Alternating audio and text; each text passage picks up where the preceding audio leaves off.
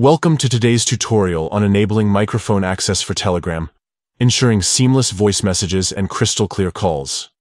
If you've ever struggled to send voice notes or join audio chats, this guide will walk you through the updated steps to grant permissions quickly.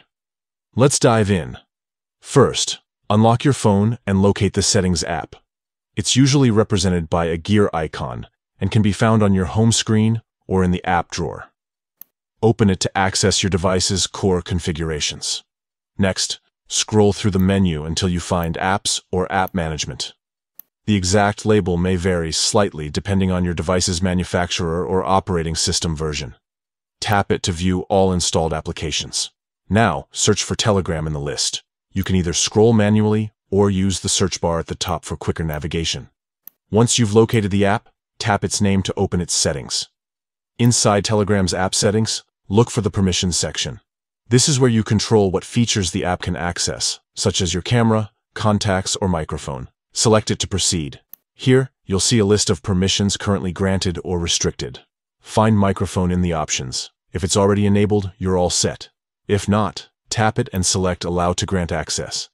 This ensures Telegram can capture audio when you record messages or make calls.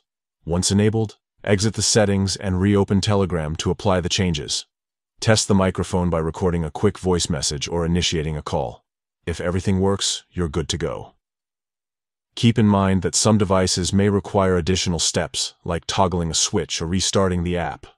If you encounter issues, double-check that no system-wide microphone restrictions are active in your phone's privacy settings. That's it.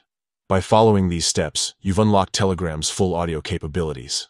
Whether you're sending heartfelt voice notes to friends or collaborating on group calls, your microphone is now ready to perform.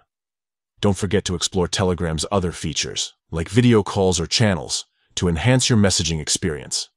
Thanks for tuning in, and happy chatting.